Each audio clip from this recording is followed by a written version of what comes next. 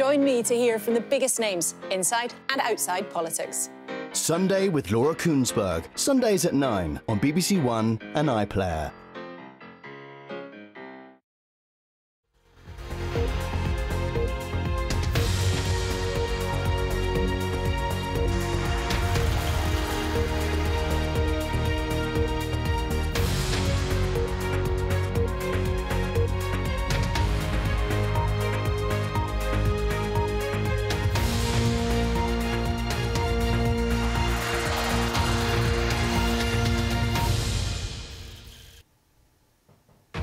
Live from London, this is The World Today from BBC News.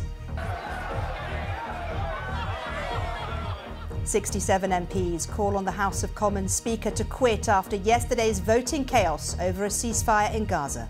We should never let extremists intimidate us into changing the way in which Parliament works. Parliament is an important place for us to have these debates, and just because some people may want to stifle that with intimidation or aggressive behaviour, we should not bend to that.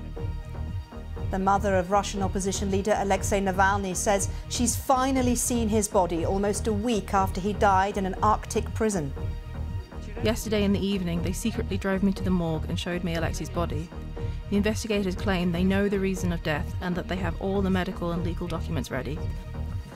Disgraced Brazilian footballer Dani Alves is jailed for four and a half years after being found guilty of raping a woman in a nightclub. This is the scene live in Valencia in Spain, where firefighters are battling a huge blaze raging in a multi story residential building. Also coming up on The World Today. We speak with the mother of James Foley, the journalist murdered by Islamic State in 2014, about his death and how she later met with one of his killers.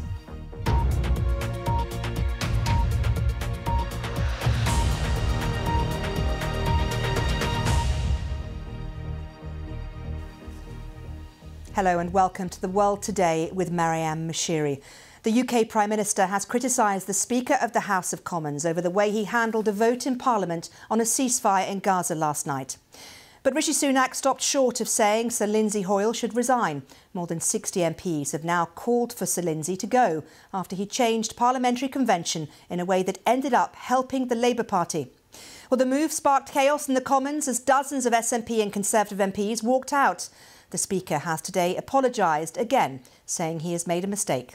Our chief political correspondent, Henry Zeffman, has more. It's a, another example of our politicians getting involved in bun fights.